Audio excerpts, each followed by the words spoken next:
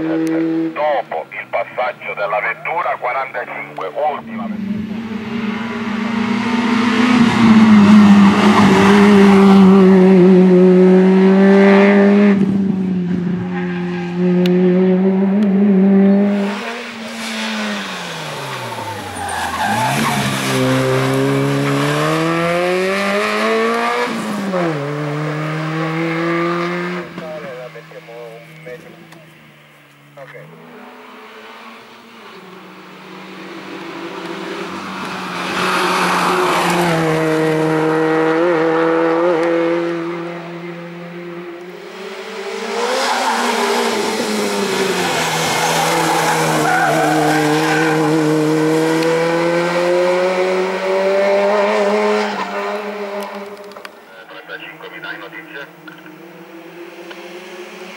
No,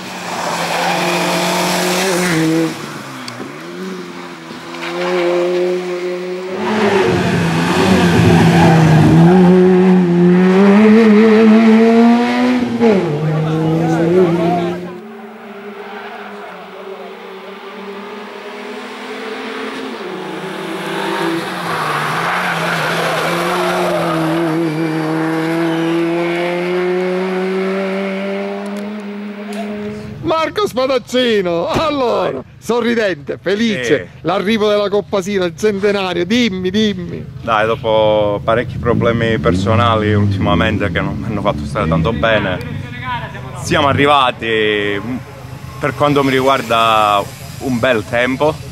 Ho abbassato parecchio, sarà l'incazzatura. In una categoria non, non semplice e agguerrita, No, non eh. semplice, assolutamente no. Eh, ci hanno fatto anche le verifiche sulla centralina e varie cose.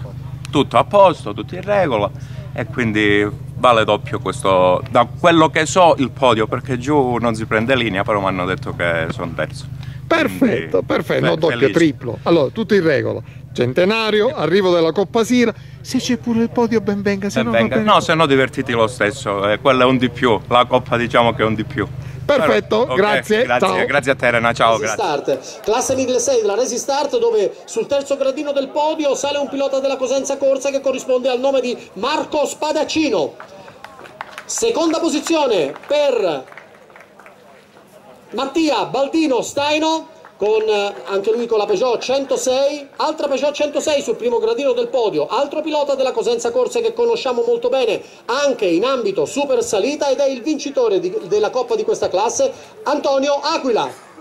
6, 30 e 87, ottimo tempo per Antonio Aquila che ha ottenuto questa bella gratificazione nella gara di casa come l'hanno ottenuta anche gli altri piloti delle belle soddisfazioni che vanno cercate in un tracciato così difficile ed impegnativo come quello della Coppa Sila. Bene, e questa è la classe 1006 della Resi Start, noi ci complimentiamo con tutti i protagonisti, mentre ci ha raggiunto il direttore di gara, ci ha raggiunto il presidente dell'auto.